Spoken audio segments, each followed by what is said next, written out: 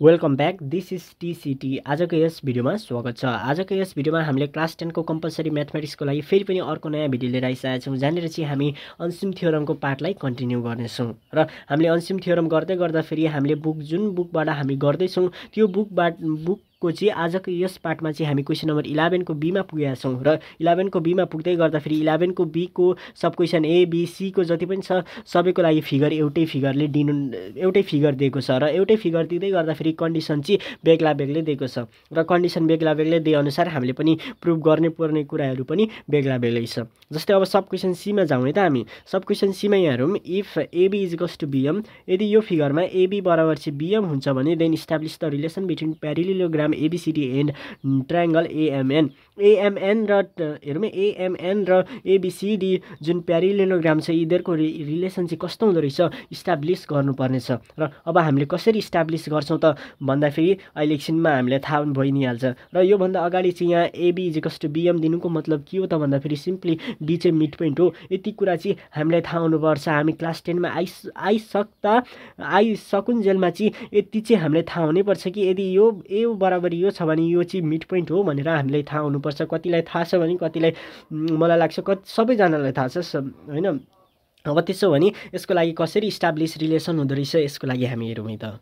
Simply यहाँनिर केही कुरा लेखेको जस्तो देखिरह्यो होला। जहाँनिर चाहिँ मैले गिभन फिगर यहाँनिर कपी गरिसकेको छु र गिभन कुरा चाहिँ मैले लेखिसकेको छु र योभन्दा अगाडि भनौँ न मैले यो जुन यही क्वेसनको लागि योभन्दा अगाडि एउटा भिडियो बनाएको थिएँ जहाँनिर चाहिँ ड्यु टु ब्याकग्राउन्ड नोइज आएको कारणले चाहिँ मैले कट गरेर फेरि यहीँदेखि फेरि यो भिडियोको लागि फेरि रि भिडियो बनाएको। भन्दा वास्तवमा भन्ने हो भने। र यहाँनिर मैले गर्दै गर्दाखेरि यहाँ सबै फेरि पनि मैले रि गरेँ किन भन्दाखेरि भिडियो फेरि रि बनाउनु पऱ्यो योभन्दा अगाडि चाहिँ अलिक धेरै ब्याकग्राउन्ड नोइजेसहरू आएको थियो। So that's why I make रि है त। सो मेक फेरि भिडियो मैले बनाएँ त। सो अब यहाँनिर हेरौँ जहाँनिर चाहिँ हामीलाई एबी बराबर बिएम दिइरहेको थियो भन्नुको मतलब बी चाहिँ मिड पोइन्ट रहेछ र मिड पोइन्ट हुँदै गर्दाखेरि ट्र्याङ हुँदै गर्दाखेरि चाहिँ मैले बी र एनलाई जोइन गराएँ। किन जोइन गराएँ त भन्दाखेरि हामीलाई ट्राइङ्गल एएमएन र एबी सिडी प्यारिलिलोग्रामको रिलेसन देखाउनु छ र एबिएन चाहिँ प्यारिलिलोग्रामसँग पनि रिलेट हुन्छ र एबिएन चाहिँ यो ए एमएन जुन ट्राइङ्गल छ योसँग पनि रिलेट हुन्छ। मैले यदि एल बी र एनलाई जोइन गराएँ भने कसरी हुँदो रहेछ? फेरि यहाँनिर हेरौँ। है त कन्स्ट्रक्सनमा जोइन बिएन गरौँ। जोइन कन्स्ट्रक्सनमा बिएन चाहिँ हामीले जोइन गराउनै पर्छ। अब त्यसो भने रिलेसन हामी देखाउँछौँ। अब यसलाई मैले कट्टी गर्दै हेरौँ है त। देन हामीले वान नम्बरमा लेख्छौँ। यहाँनिर मैले किन नलेखेको भन्दाखेरि यहाँ यहाँनिर चाहिँ नअट्ने भएको कारणले है त फेरि यहाँदेखि यति छोड्नै पर्छ भन्ने ग्यारेन्टी छैन जरुरी छैन है त। सो त्यसो भने मैले हेरौँ है त एबिसिडी यो जुन प्यारिलिलोग्राम एबिसिडी छ र ट्राइङ्गल एबिएन छ यो ट्राइङ्गल एबिएन यो दुइटाको लागि मैले रिलेसन डिफाइन गर्न सक्छु। कसरी डिफाइन गर्न सक्छु त भन्दाखेरि two times of triangle ABN is equals to parallelogram ABCD यो लेखिदिन सक्छु नि मैले। किन लेख्न सक्छु त भन्दाखेरि हेरौँ है एबिएन र एबिसिडी प्यारिलोग्राम चाहिँ same base ABN in between same parallel line AB parallel इएनमा stand गरेको छ। So that's what you need to understand just theorem लगाएको। यहाँनिर चाहिँ मैले डबल लगाएँ यहाँनिर चाहिँ कहीँ कहीँ चाहिँ हामीले हाफ लगायौँ। यसको मतलब यो होइन नि। यसको मतलब यो यो बुझ्नु पऱ्यो कि two times of triangle ABN भन्नु र triangle ABN is equals to half of parallelogram ABCD भन्नु त एउटै हो नि। यो जस्ट यो वान बाई टू चाहिँ जस्ट यो यता गएर क्रस मल्टिप्लाई भएको यो वान इन्टु यो भनेको वानै भइगयो जस्ता तस्तै भयो। टू इन्टु यो ट्राइङ्गल भनेको के हो त? टू नो जस्ट यता गएर क्रस मल्टिप्लाई भएर यस्तो भएको। जस्ट यसरी लेख्न सकिन्छ। अब यहाँनिर के लेख्नुपर्ने हो? रिजन मैले भनिराख्नुपर्छ जस्तो लाग्दैन। यहाँनिर हेरौँ ट्राइङ्गल र ट्राइङ्गल र प्यारिलिलोग्राम एउटै बेसमा स्ट्यान्ड भइरहेछ and in between same parallel लाइनभित्र बनाएको छ भने रिजन के हो? त्यही थ्योरम हामीले लेख्ने हो। अब नम्बर टूका त नम्बर थ्रीमा हेरौँ है त। ए सरी नम्बर टू होइन। नम्बर टूमा हेरौँ है त। नम्बर टूमा हामीले के लेख्न सक्छु त? मैले के लेख्न सक्छु त भन्दाखेरि two times of triangle ABN is equals to triangle AM AMN अब यहाँनिर पनि मैले लेखिराख्नुपर्छ जस्तो लाग्दैन। हेरौँ बी चाहिँ मिड पोइन्ट हो भने ट्राइङ्गल एएमएनमा एन भर्टेक्सबाट बी मिड पोइन्टसँग जोइन गराएको छ भने बिएन चाहिँ के हो त? एबिएनको लागि मि मिडियन हो। मिडियनले के गर्छ त? एबिएन र बिएनएमलाई इक्वल हाफमा डिभाइड गर्छ र यो पनि यो पनि इक्वल छ यो ट्राइङ्गल पनि इक्वल छ। A ABN equal to BN BMN छ। र हुँदै गर्दाखेरि यो प्लस यु यसकै डबल नै के हुनु हो त? यदि यो हाफ हो भने हेरौँ है।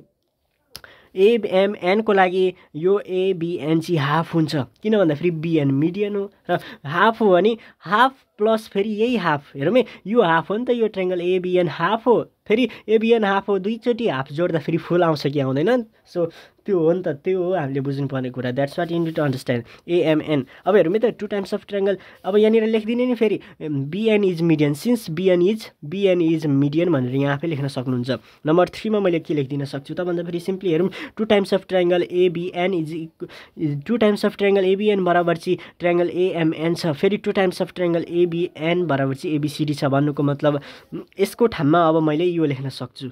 भनेपछि parallelogram ABCD is equals to triangle AMN यो चाहिँ कहाँबाट आएको त भन्दाखेरि फ्रम वान इन टू भनेर लेखिदिउँ है त फ्रम वान इन टू लेख्न त सकिन्छ।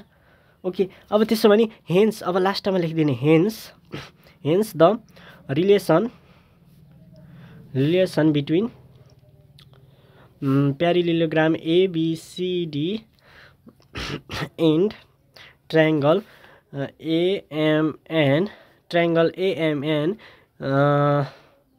कसरी लेख्न सकिन्छ? अलिक मिलाएर लेखौँ न hence the relation between and triangle AMN is कसरी लेख्न सकिन्छ भन्दा फेरि यहाँ हेरौँ मैले चाहिँ जस्ट यसरी लेखिदिएँ। The relation between parallelogram ABCD and triangle AMN is equals to is equals to equal equal in area भनेर मैले लेखिदिएँ जस्ट मिलाएर लेखौँ है त। यहाँनिर मैले अलिक ल्याङ्ग्वेजमा चाहिँ लेख्न अलिक खासै अलिक आउँदैन है त। सो अलिक मिलाएर लेखिदिउँ है त। अब त्यसै गरेर हामी नेक्स्ट क्वेसन लास्ट क्वेसन टुवेल्भको ए नम्बरमा जाउँ है त।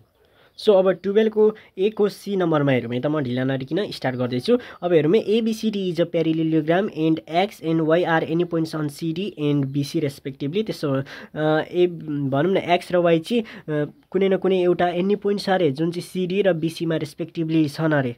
अब त्यसो भने proof that triangle AXB is equals to AYD A X A sorry sorry AXD यो ट्रायङ्गल बराबर चाहिँ एवाइडी देखाउनु पर्नेछ र यसको लागि सिम्पली हेरौँ मैले यहाँनिर अलरेडी फिगर बनाइसकेको छु। र फिगर बनाइसक्दै गर्दाखेरि यसको लागि मैले भनिदिइराख्नु पर्दैन जस्ट हिन्ट्स दिन्छु। हेरौँ है एवाई होइन एएक्सबी एएक्सबी एएक्सबी बराबर चाहिँ एवाइटी देखाउनु छ। यसको लागि के छ र देखाउनु? कन्स्ट्रक्सन गरिराख्नै पर्दैन। जस्ट हेरौँ त एएक्सबी र प्यारिलिलोग्राम एबिसिडीलाई हेरौँ त के हुन्छ त? एएक्सबी चाहिँ हाफ अफ प्यारिलिलोग्राम एबिसिडी हुन्छ किन भन्दाखेरि standing on same base AB and in between same parallel line AB parallel DC यो भयो एउटा कुरा। जुन चाहिँ एएक्सबी चाहिँ हाफ अफ प्यारिलिलोग्राम एबिसिडी हुँदो रहेछ त्यसै गरेर यसरी हेर्ने भने एवाई डी एवाइडीको लागि हेरौँ है फिगर कपी गरेर गर्दा पनि हुन्छ आफै म सँगसँगै हेरौँ है त। एवाइडी एवाइडी चाहिँ के हुन्छ त? हाफ अफ प्यारिलोग्राम एबिसिडी नै हुन्छ। किन भन्दाखेरि हेरौँ standing on same base AD यो प्यारिलोग्राम एबी एबिसी चाहिँ कहाँ छ? कि छैन मैले के गरेँ हौ यो सी नै हो यो यो डी होइन नि। एबिसिडी हेरौँ है। एबिसिडी प्यारिलेलोग्रामको लागि एडीलाई से बेस मान्ने र एवाइडी ट्राइङ्गलको लागि पनि एडीलाई बेस मान्ने हो भने both are standing on same base AD and between same parallel line AD parallel BC हो किन हेरौँ त। सो यो एवाइडी पनि हाफ अफ प्यारिलिलोग्राम एबिसिडी छ र एएक्सडी एएक्सबी पनि हाफ अफ प्यारिलिलोग्राम छ भने ए एएक्सबी र एवाइबी त एवाइडी त आफैमा इक्वल तपाईँहरूले देखाउन सकिहाल्नुहुन्छ from statement one and two यताउता गरेर तपाईँहरूले आफै देखाउन सक्नुहुन्छ। So that's all for today's video र अपकमिङ भिडियोजहरूमा आजको यस भिडियोमा चाहिँ हामी यति नै गर्छौँ र अपकमिङ भिडियोजहरूमा हामी पक्कै पनि यो पार्टहरूलाई कन्टिन्यू जरुर गर्नेछौँ।